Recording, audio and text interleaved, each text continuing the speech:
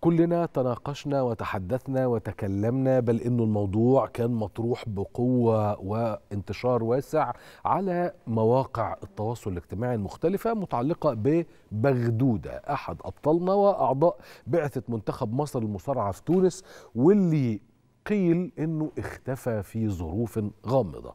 في هذا البرنامج لما جينا كلمنا الاتحاد قالوا لنا لأ ده بغدودة سافر على باريس. طيب المهم وانت بتتابع الموضوع فهتلاقي انه أسرة ال- ال- ال- البطل الرياضي لديها سرديتها لديها روايتها. وهتلاقي الاتحاد لديه سرديته وله روايته زي ما بيتقال. إلا إنه يحصل إيه بقى؟ يحصل إنه بتعلن الأكاديمية الوطنية للتدريب على صفحتها على مواقع التواصل الاجتماعي وتحديدا على فيسبوك دعوتها للاعب المصري وعضو بعثة منتخب المصارعة أحمد فؤاد بغدودة إنه يجي يتلقى منحة للتدريب والتأهيل مع الرعاية التامة ليه كموهبة رياضية مصرية واعدة. الله أيوه مش بس كده. وبناء على توجيهات من فخامة الرئيس عبد الفتاح السيسي شخصيا. طيب خلينا ناخد معانا على التليفون أحمد ولا الأستاذ فؤاد؟ نتأكد. الأستاذ فؤاد آه أستاذ فؤاد بغدودة. إزاي الصحة؟ ألو؟ عامل إيه يا فندم؟ الحمد لله والله يا فندم. إيه الأخبار؟ كله تمام؟ الحمد لله والله يا فندم الحمد لله. طيب الحمد الأول لله. الأول طمني على البطل الصغير.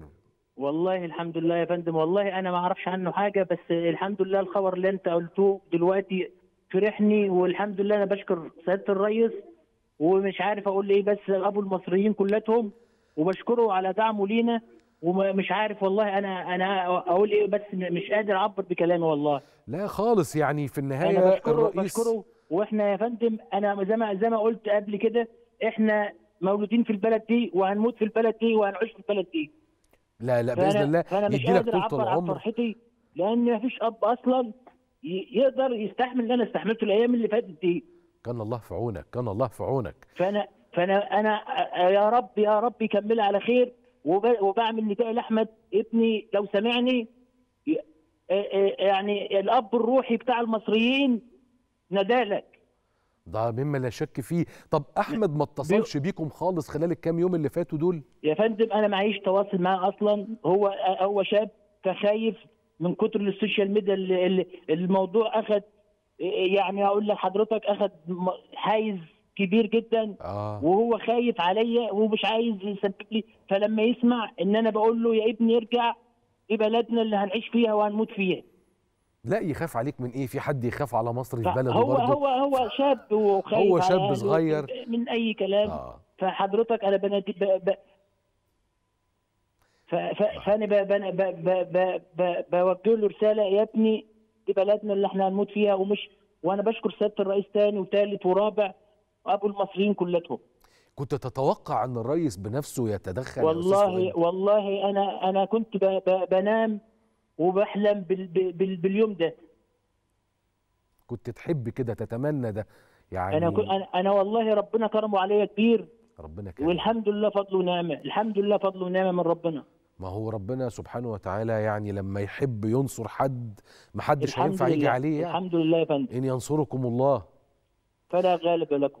بإذن الله سبحانه وتعالى. على كل خليني أقول لك يعني إن شاء الله بإذن الله سبحانه وتعالى قريب. هنقول لك مبروك على عودة بغدودة لمصر مرة تانية. عودة أحمد يعني بإذن الله. وطبعا مما لا شك فيه إن الاهتمام المباشر والواضح من الرئيس بهذا البطل وتوجيهه للأكاديمية الوطنية للتدريب والكلام آه، اللي قالته الدكتورة رشا راغب أظن مطمئن مش بس ليه لكن مطمئن لكل المواهب الرياضية الكبيرة بتاعتنا إنه مصر عايزة مواهبها ومش عايزة حد يبقى متضايق ولا عايزة حد يبقى مش واخد حقه على الإطلاق بل بالعكس الكل في رعاية مصر وفي رعاية رئيس جمهورية مصر العربية بشكل مباشر. تعالى نعمل حاجة بقى كده إيه نكتب لأبو حميد على الفيسبوك ولا حاجة يعني لعله يشوف إنه ارجع يا أحمد إنه حصل كذا كذا كذا. ابعت له يعني رسالة إن استطعت وربنا يرجعه لنا بالسلامة. يا رب يا فندم يا رب يا فندم أشكرك يا رب أشكرك. يا رب وربنا يطمنك. عليه ويطمنا عليه بالمناسبة. بإذن الله سبحانه وتعالى كل الشكر أستاذ فؤاد بغدوده والد لاعب منتخب مصر للمصارعة.